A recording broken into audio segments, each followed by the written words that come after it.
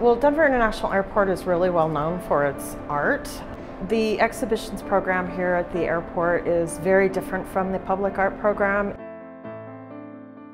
What a lot of people don't realize is that we have rotating exhibitions. We have six to eight different um, spaces that we rotate exhibitions on a regular basis. This is one of them here at Terminal Gallery. Really our focus is to highlight contemporary art as well as cultural art. Local art is really important to us. I'm a contemporary urban landscape painter.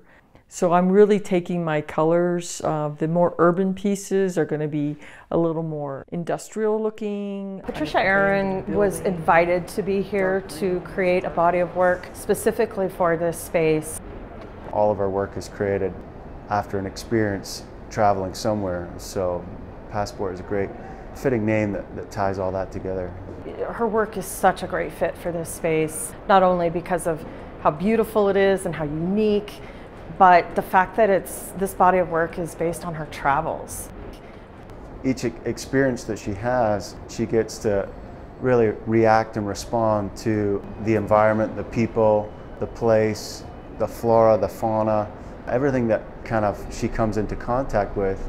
And then that in turn gets processed and put back into her paintings, which I think is a really fun way to create work because you're constantly responding to your environment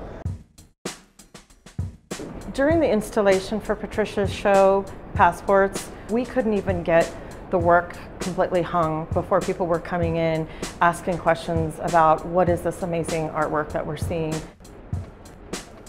In the exhibition, Patricia has added two really great components.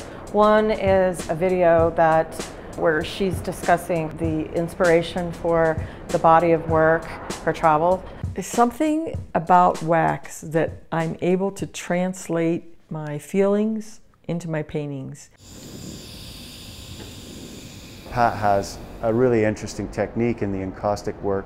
Uh, not everyone is, you know, has been exposed to that. And so the video is a great kind of intro into not only Patricia and what she does as an artist, but also her technique and her style and where her ideas come from. But the really great thing is that we have subtitles in multiple languages, and that's really helpful to our travelers because we have such a diverse group of people who pass through this airport on a daily basis that we've really hit a home run there, really reaching out and touching all of our travelers in that way.